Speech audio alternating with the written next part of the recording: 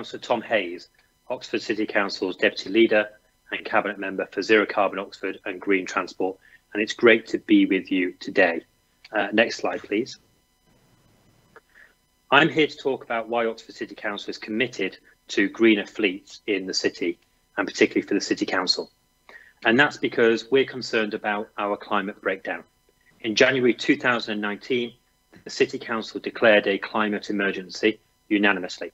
We did this because we were being stirred by our citizens to go further and faster.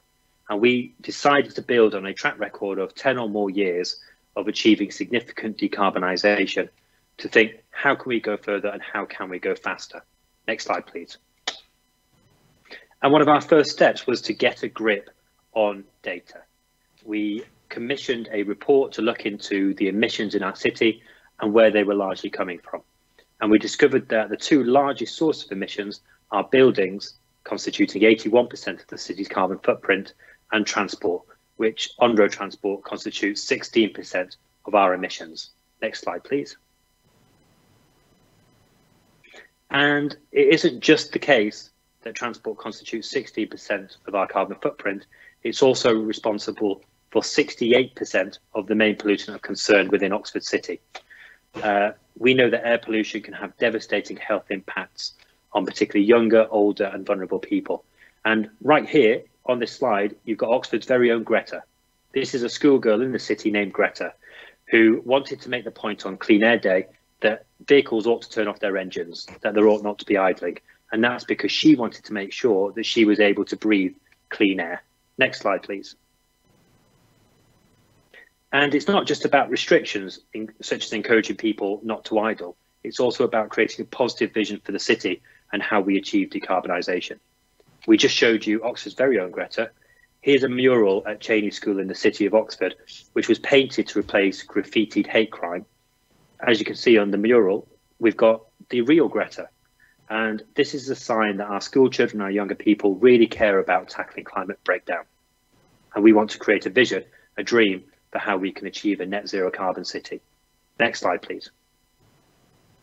The City Council, as a democratic organisation, is responsive to the needs of our citizens. Indeed, councillors are our citizens. But we also recognise that we only have certain powers, and that's especially so for the council that I represent, when we are responsible for just 1% of greenhouse gas emissions in the City of Oxford. Everything that we do has to be in partnership to achieve a zero carbon city. Next slide, please. And one of the biggest examples of that partnership working is the Oxford Zero Emission Zone. This is something that we have been working on with the County Council as the Transport Authority over a number of years, and which we'll be introducing from October 2021. The aim of the Zero Emission Zone is clear and simple. It's to restrict polluted vehicles in the city centre and as time goes on over a larger geography in order that they aren't belching emissions out into the air causing health impacts on the people in the city who are least able to struggle and suffer with those health impacts. In the first phase, we will see the city centre streets um, uh, in the core of the city uh, restrict access to polluting vehicles from October 2021. And then we'll be seeing from June 22, June 2022, the extension of that zero emission zone over a larger geography. This is going to involve an acceleration on original plans for that larger geography by nine months. And we want to go faster because we recognise that every day where dirty air is impacting on people's health is a day that we can that we need to avoid. Next slide, please. And the zero emission zone is going to affect particular vehicle types. It will affect buses, taxis, and private vehicles in the main. Here's an example of uh, a bus in uh, Oxford, just exiting my ward, in fact um, from 1957. But times are changing, buses are changing. And as the next slide shows, that's particularly the case here in Oxford. This is one of the first uh, zero emission electric buses in the city. There are five sightseeing buses that will be going electric. Uh, this is to accompany the 115 buses that are being retrofitted to a Euro 6 standard of engine. This has all been made possible by the council working with partners and our bus companies to successfully bid for government money. And it's fantastic to see this zero emissions bus here in Oxford. Next slide, please. Oxford's a very old city. Uh, here you see, just outside of Balliol College, an old hansom cab in the late 19th century. As you can tell, the horses there had their own uh, pollutant of concern. It's a very different affair now. But we are, as a city, moving from old types of pollution, uh, which we need to address, to new types of pollution which need to be addressed. Next slide, please. And so as part of the zero emission zone, we've introduced tight regulations to encourage our taxi trade to move towards having a zero emitting fleet. From 2020 up until 2025, there are different types of regulations that taxi drivers need to meet. But by 2025, we're aiming for a zero emissions fleet. And Tina is going to talk a little later about how Project Energy Superhub Oxford is enabling the City Council to work with the taxi trade to move towards that greener fleet. What's great here is that the City Council's uh, social enterprise, Oxford Direct Services, is now an, an authorised service um, dealer for uh, TX taxis by, L by LECV. Uh, and this is really fantastic. It means that taxi drivers um, uh, who operate zero emissions vehicles don't have to go significantly out of the city in order to get their taxi serviced. Next slide, please. And then finally, private vehicles. Oxford has been the home to engineering and car making for over 100 years. We've had in different iterations a car making plant here in the city for decades, and we've now got the mini plants operated by BMW. Here are just some of the old minis that have been made by Cowley car factory plant and which have been put on display by Mini over recent years in order to show our history. Next slide.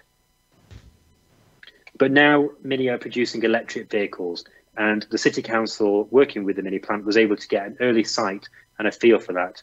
We took delivery of a zero emissions Mini last year for our Lord Mayor to use. Another example of Oxford as an old city with heritage and history mixing with new engineering and skills. Next slide, please.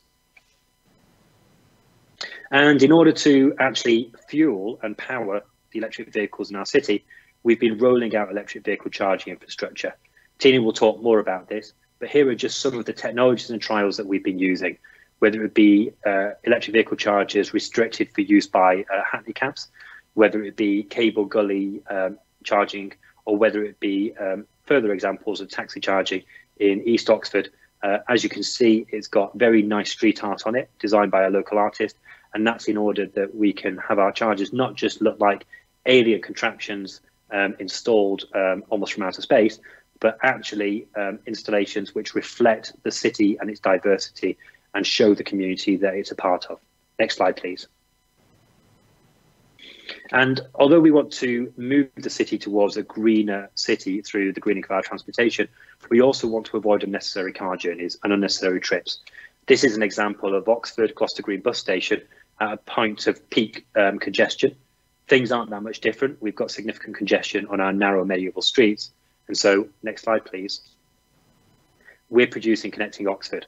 It's a programme of changes which will introduce, among other things, bus gates, a workplace parking levy, and other restrictions, um, income generation to fund a new orbital bus route, all to prevent unnecessary car journeys on our streets and in order to encourage people to pop onto public transport and when buses can flow more easily, for those buses to be more punctual and speedier in their journeys. Next slide, please. And then coming to the end of the presentation, here's our Citizens Assembly. Oxford was the first UK city to host a Citizens Assembly on climate change, hosted last year and delivered as part of our Climate Emergency Declaration. We did this because we wanted to hear from a representation of viewpoints and backgrounds about how the City Council could go further and faster and build on our significant track record. Next slide, please. Next slide, please.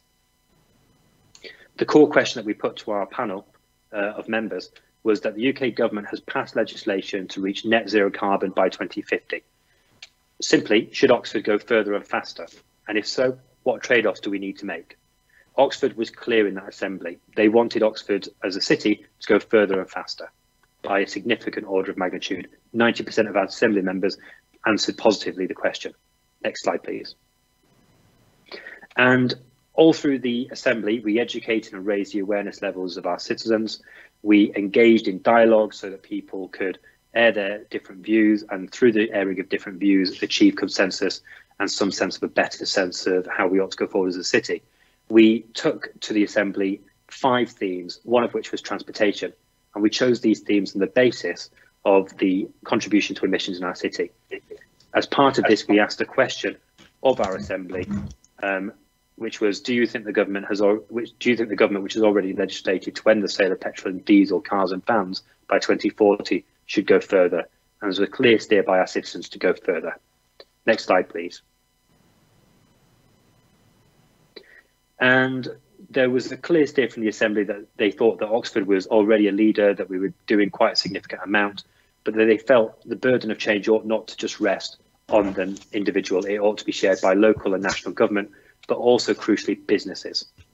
Um, interestingly, two thirds of the Assembly were generally positive and wanted us to go further and faster, but there was always a third that felt like we ought to just maybe go a bit slower, maybe recognise that 2050 was already too bold and think about how we fit within that timetable.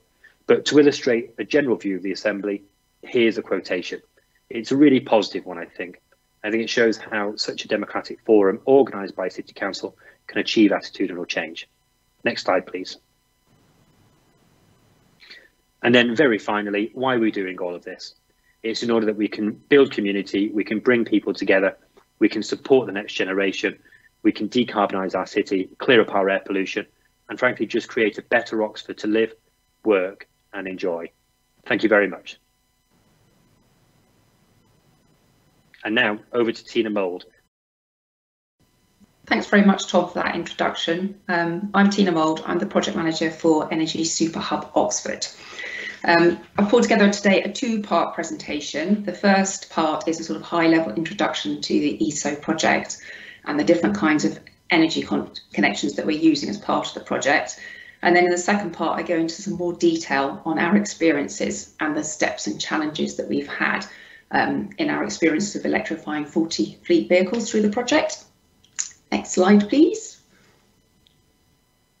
So um, Energy Super Hub Oxford is a consortium. It's a mixture of different of different partners, so a mixture of uh, private business, public sector and research organisations. It's a 40 million pound project. It's Innovate funded by 10 million and it's one of four very large demonstrator projects in the UK. It's it's it's working on the PFER programme and it's all about getting an integrated, a smart approach to decarbonising power, transport and heat to accelerate Oxford's journey to zero carbon. It's a showcase and a mixture of a hybrid battery energy storage system, rapid electric vehicle charging, low carbon heating and smart energy management. And the concept and idea of all of these is to provide a replicable model that can be used across other cities in the UK. Next slide, please. So the partners that we have working on the project together are Pivot Power, who are the leader, now part of EDF, and their role is the lithium battery and private wire. Invinity, who provide uh, a specialist battery, which is a vanadium redox battery. Kensa, who are installing ground source heat pumps in Oxford properties. Habitat, who sort of who provide the optimization trading uh, platform that pulls all of the project together. Oxford, um, ourselves, who have been electrifying some of our fleet and are also providing the, location for the largest EV hub in the UK, as well as some taxi support um, packages. And then the university, who do the research element, so there's some battery evaluation, and they also provide the learning and overall evaluation by the whole project. Next slide, please. So trying to um, give you a bit more of a concept and idea of what um, happens or what the battery and the private wire cable that go with it um, will, will, provide. So we provide in the world's largest hybrid battery, it's a 50 megawatt battery. This allows basically energy to be stored from the national grid, grid transmission network and it can store green energy and then it can resupply it at times when demand is highest. This balances the grid um, uh, yeah, balances out better the, the peaks and troughs of energy use over the day. So next slide, please.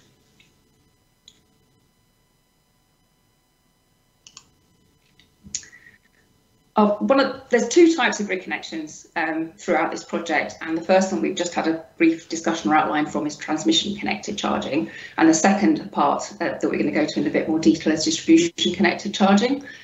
So the benefits of transmission connected charging is the battery um, provides the backup um, or that sort of evening out of demand, which means there's potentially spare capacity in the transmission network, which allows a massive or, or, a large supply of electricity that can help support EV charging. And that's what the private wire, and that's the innovative part of this project. Um, another part of the project is distribution connected charging, and that is where you get your energy from your local distribution network. This can often be constrained because it supplies all of the local demand for residential, etc. Um, and so you need a sort of a, an upgrade often to put in EV charging. And so both those elements of this are covered in this project. Next slide.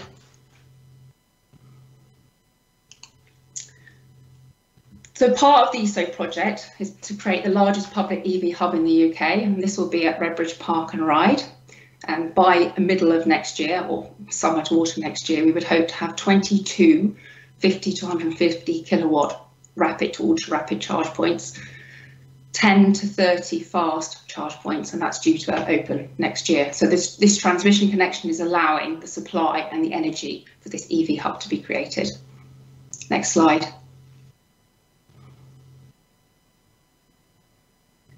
And that's just the start of things to come. So that's the start. And in the future, we can connect, and they and we're already looking to connecting a bus depot to this supply. We can have a logistics last mile um, depot. You can potentially um, connect ground source heat pumps. So that is why this this project is so innovative. Um, and that's what is looking to be replicated also in some other cities. For Birmingham and Coventry, discussions have started with those already. Next slide, please.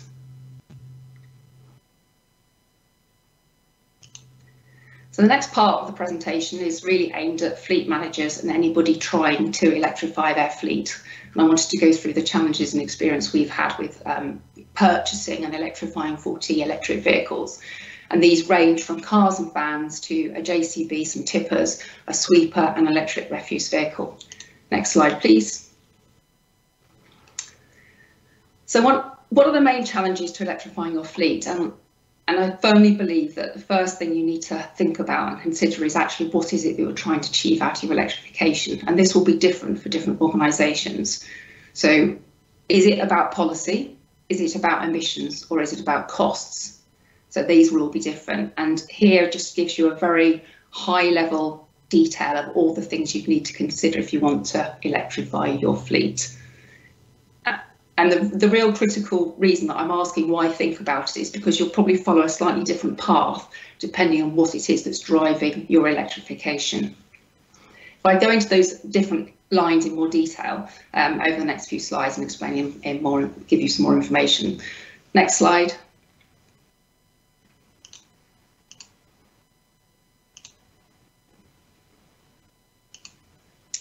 So the first thing you need to do if you want to uh, electrify your fleet is really think about your existing fleet and focus your migration strategy. To do that, you're going to need data and more data, and you probably need at least a year's worth of telematic data alongside your fleet database data.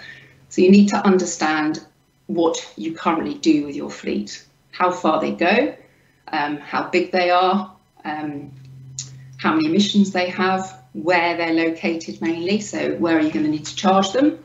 Do any of them go home? What's the cost of your existing fleet? And what you're really trying to do is analyse your data so that you can provide a match to an electric vehicle. And that's what your strategy is about. And when we did this, we took a year's worth of data, um, analysed it in depth, and then we did a RAG rating. So we looked at all of the information we had about our vehicles, what vehicles are, are available on the market, and then we tried to match like for like. Next slide, please. The next thing to think about is your charging needs and understanding your electrical capacity. So what charges do you need or require for your fleet? And you need to map those two things together. You will need some support if you are looking to put charging infrastructure in from your distribution network operator. And if you are working closely with a charge point company, it's useful to have their input as well because they can often help you a lot with a, with with analysing your data. So really think about where you want your chargers to be. Are they going to be at home or at a depot? If it's on your land, what electrical capacity do you currently have? How is it utilised? And we had some half hourly data, so that was really useful. We could look back over how, how we'd utilised our supply. So how much is our building using during the day? How much is it using at night? When are you actually going to want to charge your vehicles? So how much supply will you have available at that time? The other things you need to think about is what speed of charging you want. So can you charge your vehicle at night with a fast charger at seven kilowatts? So have you got that time or are you double shifting and therefore you need a faster charger, uh, uh, which, which is called a rapid charger.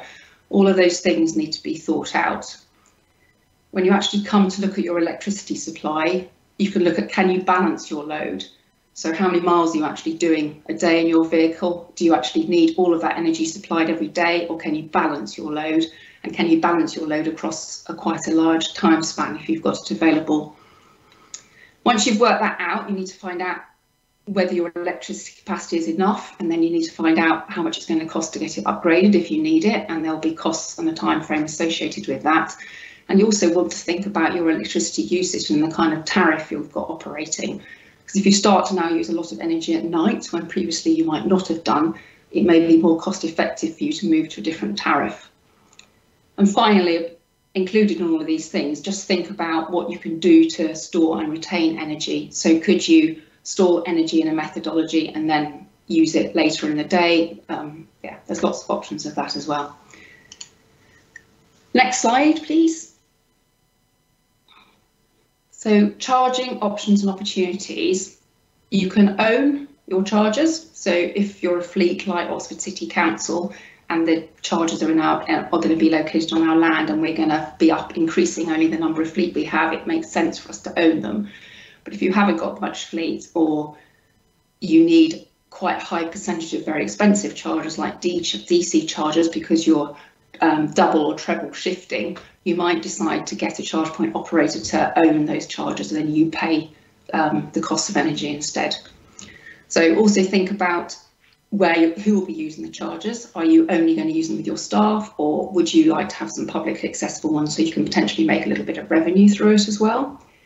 And when you're thinking also about the future and your strategy, you want to think about the kind of information that you need from those charge points. So what data do you want and how are you going to collect it and then how are you going to evaluate it? And last but not least, if you're looking at doing home installations, then you need to think about how who pays for that. So are you as the company going to pay for that? If you're not, how is the energy, you know, and, and you're prepared to subsidise those charge points going in, but also you then also have to pay for the electricity. So how are you going to give that money back to the staff, and how are you going to have an accurate recollection of how much that energy was or is? So all those things need thinking about through. Next slide, please.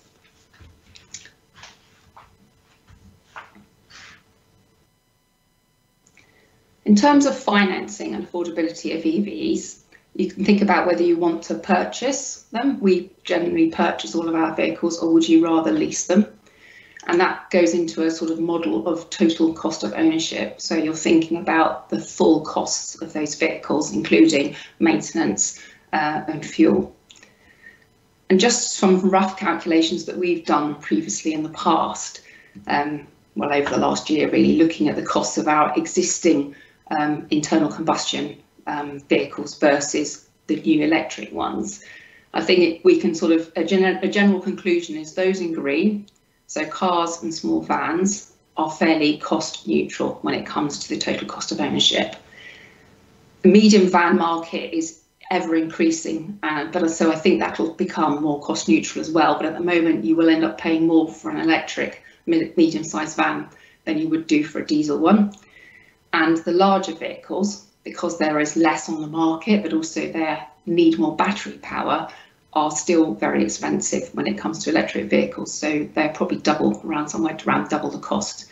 So again, it sort of goes back to that first question: what, what are you, why, are you, why are you electrifying, and what's driving it?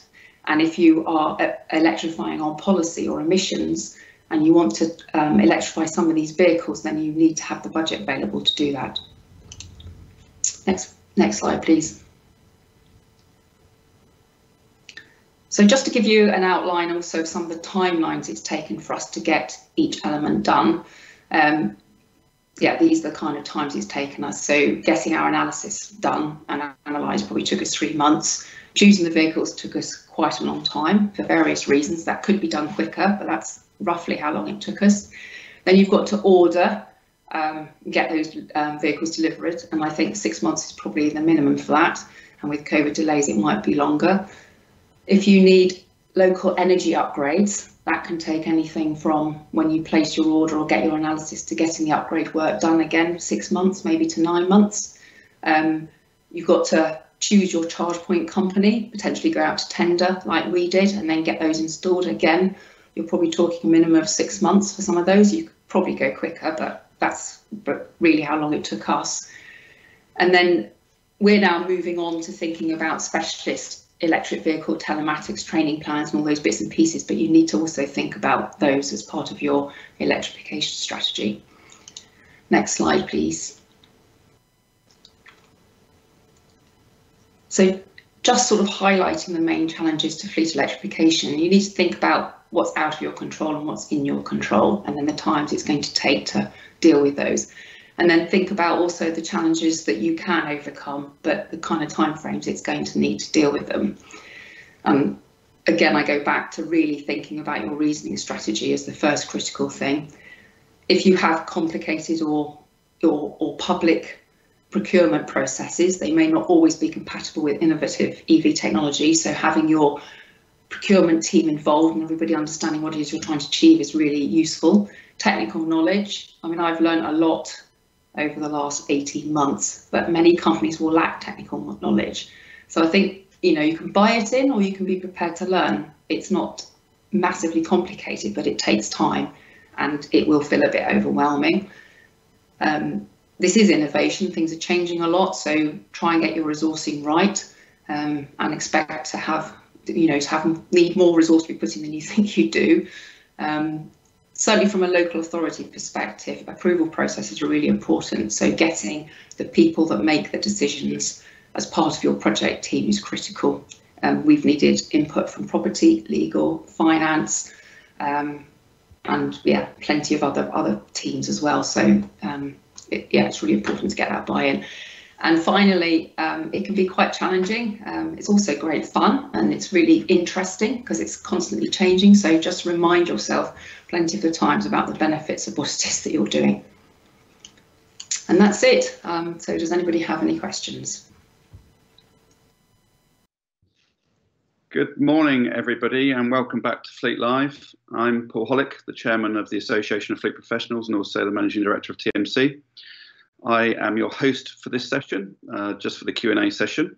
Um, we are sponsored by AssetWorks, so I've got Nick Bridle from AssetWorks with me as well for this panel debate, and obviously I've got Tom and Tina as well to answer your questions. So please feel feel free to put on the web chats questions that we, you would like answered by the guys. Um, but firstly, uh, thanks very much, Tom and Tina, for your great presentation.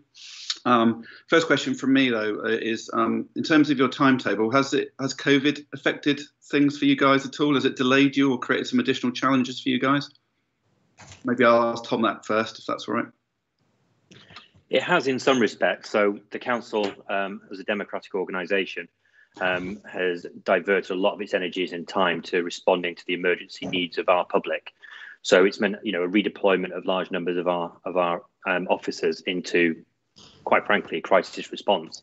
And it's taken a lot of um, it's taken a lot of strategic energy as well in order to do that.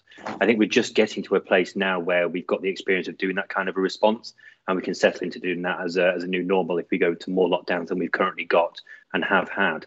Um, and so I think with the learning that we've had over the last few months, we're in a far better place. But in the first few months, it probably was very challenging for the council to be able to do all of its work. Um, however, throughout much of that time, Tina, as the project manager, has just gone forward with um, meeting the really tight timetables that had been met. Um, and there were a couple in particular, so I'm going to hand over to Tina to talk to those and her general work. Yeah, so same question, Tina, then. Thanks. So we had a, a, um, some delays in terms of sort of delivery of vehicles as much as anything in the first lockdown. Um, you know, because we ordered um, some Renaults and we ordered um, some of our vehicles, you know, from overseas manufacturers, so that caused some delay but most of those vehicles are now are in sort of have arrived. Um, we had a few delays in terms of responses to tenders, people not being able to visit site and all those bits and pieces. But on the whole, really not. We haven't really had a significant delay. A few, maybe a couple of delays also with um, SSEN coming out to do some of the works that needed. They stopped doing work for quite a while. Um, but on the whole, not really. We've you know we've really carried on focusing and working quite hard on the project. So overall, not really. It's good news. And then, so what out of this program? What's really been the biggest challenge, Tina? about about the program? What's what's been the biggest thing that's needed you, you guys needed to overcome? That's quite a difficult one to answer. I mean, there's there's challenges all the way. I think the first challenge was my learning. Um, so I didn't, you know, I didn't come from a background where I knew very much about electric vehicles. So I've had a huge challenge myself, just in terms of learning. And I think I've probably talk about it a lot in the in the presentation. It's really it's sort of resilience, lots of learning, trying to make sure everybody's working together as a team, um, coordination. It's just all the things that a normal project manager does, really. But and just being resilient about it, but just keep you know keep wanting to keep going, understanding what you're doing is really important. Just having that energy and drive. That's you know everybody's trying to achieve the, the same outcome. It's just keeping everybody together to do it. Sure. Tom.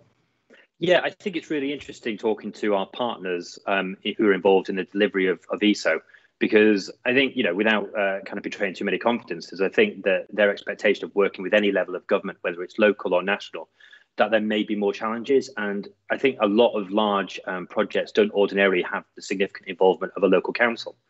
And so I think a lot of our partners would say it's been a bit of a breath of fresh air to find out that relationships of trust can develop quite quickly um, working relationships can be very easy. Communication can be flowing even at the toughest of times. Um, so for me, I think the thing that I've learned is that as a council, we're really well placed to be taking on these kinds of projects. We've got the fundamentals in place to make a success of them, and we're really looking to do more of it. Yeah, no, not to exhaust Tina too much. I bet. Um, just um, linking through our sponsors AssetWorks with telematics. Have you guys deployed internally a telematics solution for you guys to get some additional data on your fleets? Um, yeah, morning all. Um, Nick oh. on, on the. Sorry, Nick, Nick, Nick, Nick. I was just asking Tina and Tina. do you mind? Sorry. Sorry. Oh, I thought you were asking me. Sorry. Yeah. Oh, sorry, Tina. No, that's okay. We um, we're just in the process of going out to tender for all of our telematics um, for the city council anyway, and one of the essential criteria in our new solution is EV telematics. So we are asking for specialist information about state of charge, um, battery degradation if we can. I mean, that'd be difficult to get from the OEMs, but we're trying to find as much information as we can out about how our EVs perform so that we can really make that comparison against ICE and really present the whole picture for total cost of ownership. And also learn about how people's behaviour changes when they're using an electric vehicle. So hope you know hoping to see a progression in terms of how they've become more comfortable driving it if they've never had one before and maybe charging it less frequently so it's, it's those kind of things that we're trying to find out so we get that whole we get that whole the whole package and the whole story from electric vehicles no, that makes complete sense. Then Nick, coming back to you, sorry to interrupt you uh, as you're on a flow, but um, you know, from an AssetWorks perspective, what have you guys found in terms of EV analysis and usage for fleets on on telematics with, for EVs? Um, well, yes, we've um, we've had a look at um, 200 vehicles over the last two or three years, um, and we've got um, maintenance and um, energy analysis in our system. So we're seeing on a direct comparison between BEV and ICE, 200 vehicles over over two years, a 50% reduction in labour parts, and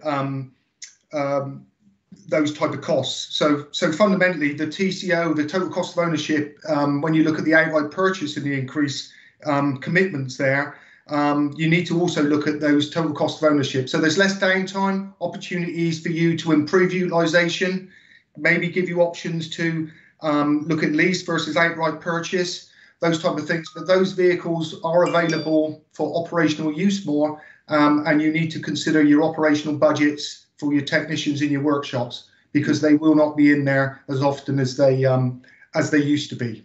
So significant, we're seeing significant savings across many of our 550 fleet customers, not only in the UK, North America, and Canada as well.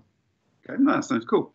Thanks for that. Um, and then going back to Tom and Tina, I just had a question from the audience. What made you decide to purchase your vehicles outright rather than go lease hire? Do you want to go first, Tina? You're muted. You're muted, Tina. Sorry.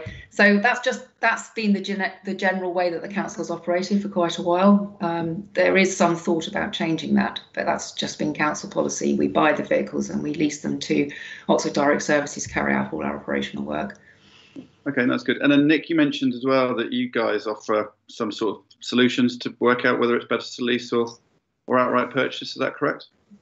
Yes, we do. We have um, capital asset management product CAM, and we'll, we're heavily now into decarbonisation, life cycles, and replacement plan scenarios. So what we find is you're going to need to run a number of scenarios to, to present to the board um, over two life cycles to 2030. You know, what are the capital investments required? And we can run a number of scenarios against cars like commercial vehicles. We're scratching our head with heavy commercial vehicles in hydrogen.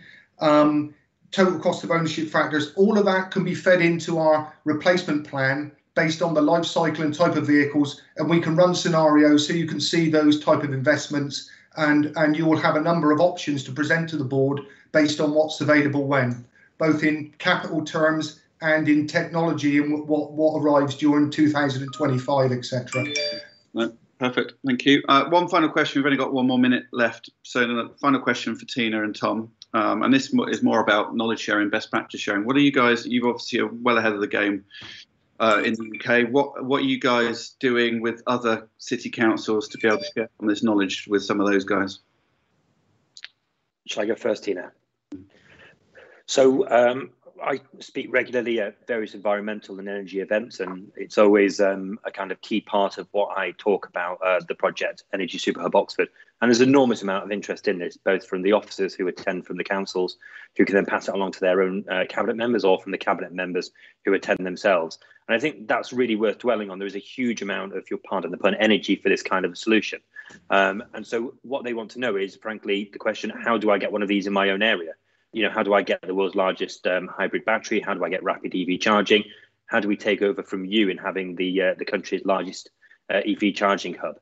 And what we then do is to we work with them. We try to uh, figure out what their own needs are, um, and then we try to work with potential partners like Pivot Power, who have been a major partner to us, to see whether it might be uh, practicable to have some sort of a, an ESO solution for their own environment. I know that there are two places in particular in the Midlands who are looking at this um, kind of a solution and we've certainly been in contact with their cabinet members around that. Oh, that's excellent. Uh, so anyway, we've now run out of time, I'm afraid. So Tina, Tom, thanks very much for your excellent presentations. It's Thank you. work. Keep keep plugging away at it. You know, it's going to be amazing to be in that city in a few years' time for sure.